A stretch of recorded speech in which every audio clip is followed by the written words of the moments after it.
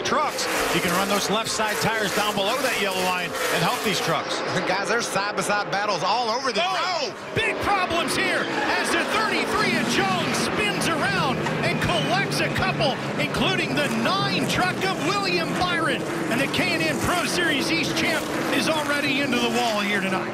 I think maybe William in the nine and Brandon Jones in the 33. The left rear. Watch, watch Brandon Jones now. Go through the dog leg.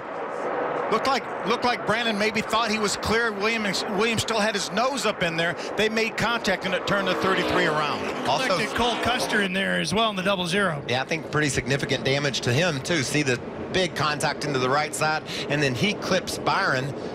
I think William just felt like he had the the space the space to run on the outside of Brandon Jones, and Jones went up like he wasn't there. Yeah, I don't think William had any idea that Brandon Jones was going to move up the racetrack. Gets into the double zero Cole Custer. That turns him back into William, or actually avoids William, but then Cole Custer with nowhere to go makes contact with William. Watch the job Timothy Peters does here. The veteran just working it oh so close to the inside and avoiding contact with the 33. Take a look from the eight truck here. John Hunter Nemechek. See William, William was out against the outside wall. Look at John Hunter. He dunked. It was too. Oh, problems on the front straightaway as the 0-8 truck spins across the line and Korbin Forrister brings out the second caution of the night. Killed machine came around, but it looks like, guys, you got a little bit of help. Looks like the 94 of Timmy Hill got into the back of Korbin Forrister and turned around right at the start-finish line. Korbin did a nice job keeping that truck out of the outside. Well, he may have just touched it right there, but just barely. But he had two flat tires. And he was not happy with Timmy Hill and flings his Hans device why, at him. Why do you outside of Erik Jones? Oh, he's got a spin. Yes, we do. And we're going to pile oh. it in, including Rico Abreu in the 31. The orange cone is involved as well. And this one, that's the second time in two weeks somebody's taken out the orange cone in the process. Man, that's a shame for Jump. Let's see if we can take a look at what happened to start this. Ooh, the 15 of Mason Mingus looked like he locked his brakes up got into the five of Dalton Sargent and Rico. Ben Kennedy also with a lot of damage in the 11. Nowhere to go.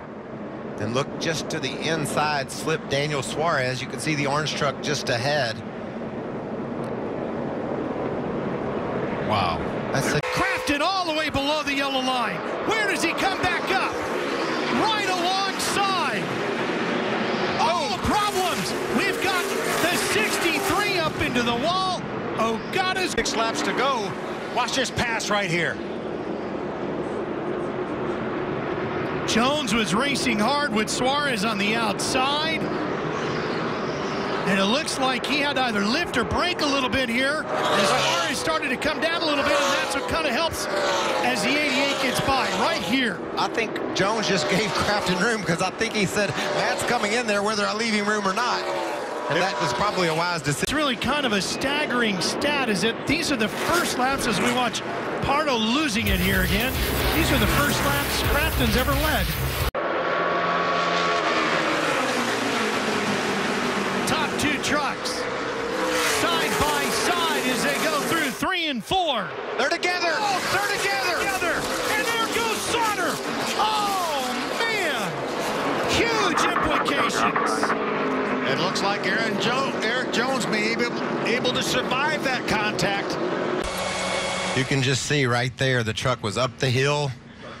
Jones had to make the corner, and then he slides down and takes out his teammate as well. You know, Erik Jones made a little more severe contact with the outside wall than I initially thought.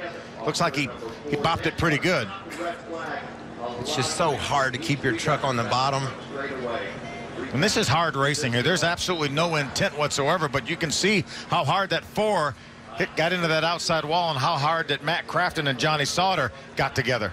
And we, you know, we're, we're going to have a great race to the checkered here.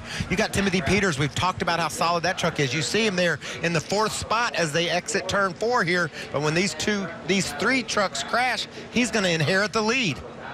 I'm telling you, a lot more contact with the outside wall for Erik Jones. It was a much harder hit than it initially looked like, wasn't it? Yeah, he really popped the wall pretty good. You got Peters, and then behind Peters is John Hunter Nemechek. We've seen that truck really strong down on the apron in turn three and four. He's going to be serious about trying to get this win. Hey, it's anybody's race right now. That just that just wide open right now.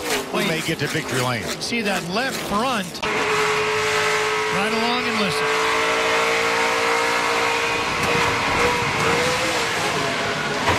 Matt was trying to stay off Erik Jones, and certainly no intent whatsoever, just hard racing. He knew that if he lost that lead, he probably lost the race. And the championship. And the championship.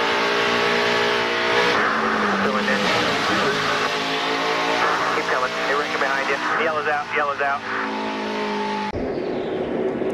See, this is this is the shot we showed a little while ago. Oh, that's a big hit.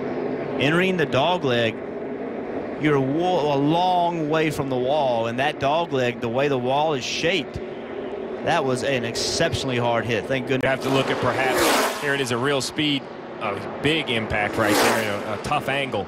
You'd expect to be looking at a mechanical problem. The reason for the caution, Jeremy Clements, right front tire goes down and into the wall he goes.